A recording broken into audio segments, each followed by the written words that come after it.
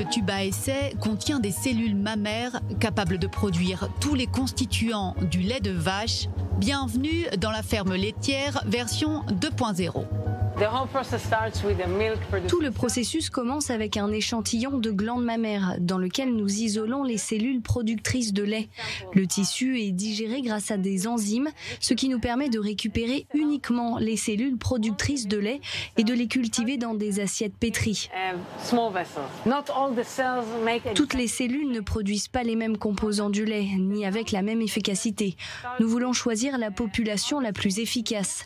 Les différents facteurs sont testés ici Ensuite, nous récoltons les composants du lait. Là, nous avons isolé les protéines de la partie grasse du lait. Wilk a récemment obtenu un brevet aux États-Unis pour ses méthodes et technologies de recherche, fruit de 10 ans de travail de cette chercheuse de l'Université de Jérusalem et de sa collègue Maggie Levy. La manière dont la glande mammaire produit de la graisse pour le bébé est unique et vous ne pouvez retrouver cela dans aucun autre ingrédient au monde et elle est essentielle pour le développement du bébé. Comme il y a un manque de lait maternel à travers le monde pour nourrir les bébés et les prématurés, nous avons commencé à réfléchir à la meilleure alternative possible.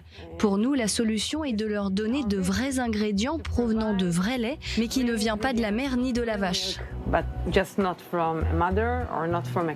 L'entreprise est cotée à la bourse de Tel Aviv depuis 2020. Elle vise également le marché vegan et affirme que le lait fabriqué en laboratoire est bien plus écologique que celui produit par les vaches. Il y a une donnée qui est choquante. Pour produire un litre de lait de vache, il faut quasiment 1000 litres d'eau.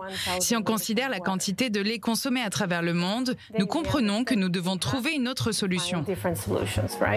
Le deuxième producteur laitier d'Israël, Tara, détenu par Coca-Cola Israël, a investi 2 millions de dollars dans Wilk.